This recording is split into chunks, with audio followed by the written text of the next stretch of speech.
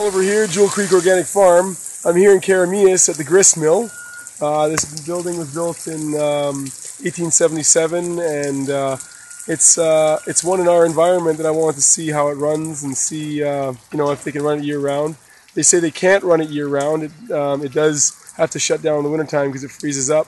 But um, this wheel behind me, which is, looks to be about maybe eight feet tall or so, and uh, just over two feet wide. It does um, about 20 horsepower, which is uh, pretty impressive. And if you look, if you look here, you can see like this fairly small little creek that um, the amount of water that's actually going into it. You'll see a few shots of the actual creek that uh, that feeds it. But um, yeah, there's just this this mill race here behind me, and that uh, that feeds this mill. And um, when they shut the mill off, they just basically lift an arm and then let the water run out before it runs hits the mill. So yeah, if you look at it, it's a really simple paddle wheel. It's only a foot deep and uh, just straight paddles in. Um, so I'm hopeful that the uh, the wheel that I'm building is going to produce some power.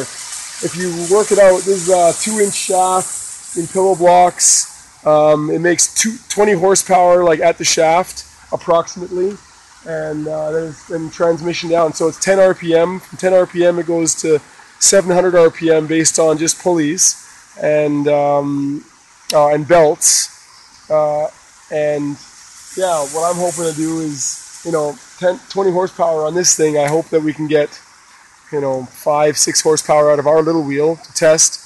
And each horsepower equates to about 750. I think it's 746 watts per uh, is is equal to a horsepower. So we'll see. Anyway, there's uh, a little bit of the grist mill here in Keremeos. Check it out if you have a chance. Cheers. Hey, I'm with Tyler. Uh, Tyler is one of the gentlemen that runs the water wheel here in uh, in Keremeos. And uh, Tyler, introduce yourself and tell us about the wheel that we're here in front of. Here, we'll step in front of the wheel. We can see it in the, in the background. Well, this is a, a, replica of the wheel that was here in 1877 when the mill started. Okay. We did some archaeology here and found the original timbers and found a good photograph of the next mill built by the same builders. So all the upper structure is based on that photograph. Okay. The mill at Coldstream Ranch near Vernon. Oh, cool. So um, how, how old is this mill here? This one was built in uh, right around the year 2000. Yeah. Okay. So it's pushing 15 years. Okay. Uh, the first wheel rebuilt on the site here was 1984. Is that the one that's out front? And or? that's the one by the picnic area. And okay. it lasted about 15 years, and then it began to be unstable. Yeah. And so it was time to build a new one. Okay. And it was actually the structure that was more unstable than the wheel, the uh, the support structure. But there was rot beginning to come in after 15 years. Yeah, yeah. And purposely didn't use treated wood. Don't want to poison the creek. Yeah, yeah, for sure. Uh, so it's just natural wood. Mm-hmm. Um, if you imagine each bucket or each trough, they're called buckets in water wheels, holding about a pail of water. Yeah. And a pail of water, a full pail, weighs about 60 pounds. Yeah. There are 10 buckets all holding water, 600 pounds. The axle is six foot radius from the axle out to where the water is. Yeah. So imagine 600 pounds on the end of a broomstick and Yeah. you're trying to hold it. That's the kind of torque that's involved in this. For sure. So it's uh, extremely powerful with just a little bit of water. Cool.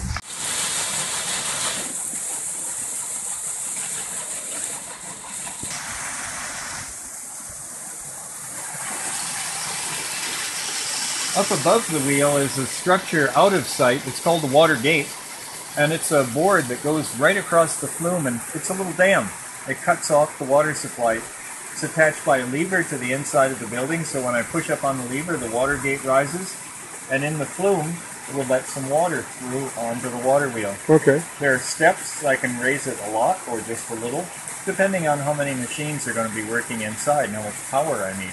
So you can control the power very finely with Oh. just how much water goes on.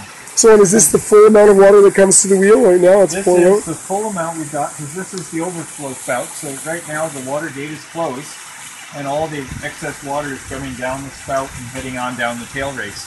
There are two races that are part of every water wheel. The head race brings water to it. Tail race takes it away.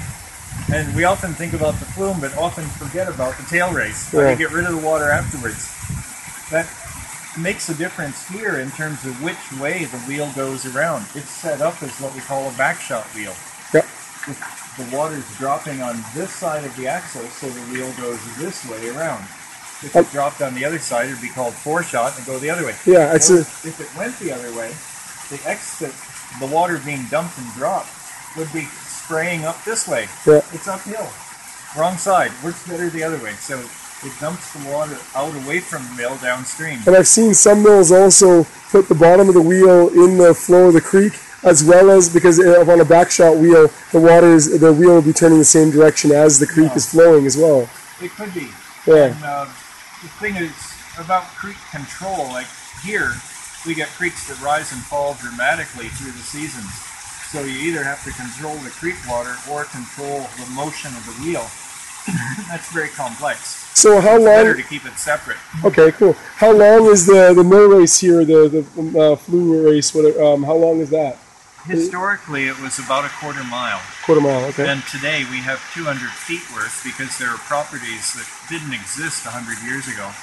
So we, we have access to 200 feet. We pump water in today, You do. and then we use it in the water wheel and then capture the water and repump it back again. So Oh, really? We're not actually using the creek water today, but we could if we had um, property access, but that would be a very expensive process. Yeah. This is the location. Okay. The thing about being near the creek is it's it's not at all dependent on the creek water. It just means that you have to pick the creek water off and keep it at that height. At your head. Put the wheel anywhere you want it, but in this case, there's more room to work on this side of the building, For sure. and the creek on the other side will rise and fall as much as four feet from the winter to the summer. Great. Well, thank you very much for your time. I appreciate it. Sure. Thanks for showing us the wheel.